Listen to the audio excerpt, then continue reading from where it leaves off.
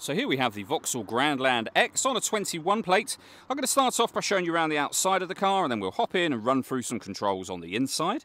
From the outside though you can see it's a five door car with alloy wheels and tinted windows. We're going to start off inside the boot first of all. As we approach the back of the car you can see we have reversing sensors. Plenty of boot space as well uh, and you do have that 60-40 split folding rear seat should you wish to increase this space even further. Okay, so we're just going to work our way back around to the front of the car and then we'll hop in and run through some controls on the inside of it from there. But now that we've done a full circle, you can see it's in fantastic condition the whole way round. Just briefly before we climb in, I think it's well worth seeing the interior from this exterior point of view. There's plenty to run through on the dashboard, so let's hop in and we'll do that now. Okay, now that we're inside the car, we're going to start with the dials. Over on the left-hand side, first of all, we have the rev counter. We have the speedometer on the right-hand side. In the centre at the top, the fuel gauge and coolant temperature gauges, and beneath that, the trip computer, which includes the total miles for this car. They are 35,621. Uh, above that, we then have our trip computer information, which can be changed using controls on the indicator stalk. As you can see, you can have a digital readout for the speedometer, amongst lots of other different bits of information.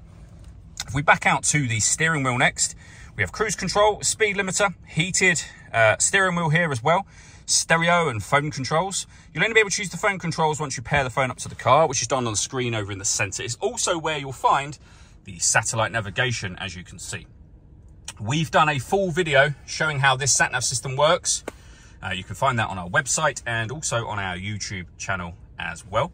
When it comes to audio in this car, uh, we've got the radio, so DAB, AM and FM radio, USB input, iPod input, and Bluetooth audio, so you can stream your music wirelessly once you paired up your phone. Uh, this car also has Android Auto and Apple CarPlay, so depending on what phone you have, you can access those as well. Below that, we then have dual zone climate control. You can adjust the passenger and driver temperature. You can increase and decrease the fan speed as well. When you're happy with those settings, that's your air conditioning on. Same button to turn it off or hit auto. The car will now take control of the fan speed to maintain those temperatures for you. You can manually override that whenever you wish to.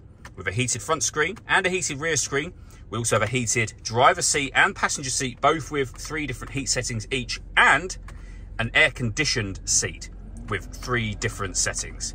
Uh, if you've not had this before, it's fantastic, uh, obviously, particularly for the summertime. We have some storage underneath here, 12 volt charging socket, and a USB input as well. Uh, we then have the ability to turn the child locks on and off, parking sensors on and off, the stop and start on and off. We have a lane departure warning system, tyre deflation warning system, which you can reset from there, and you can turn your traction control off as well.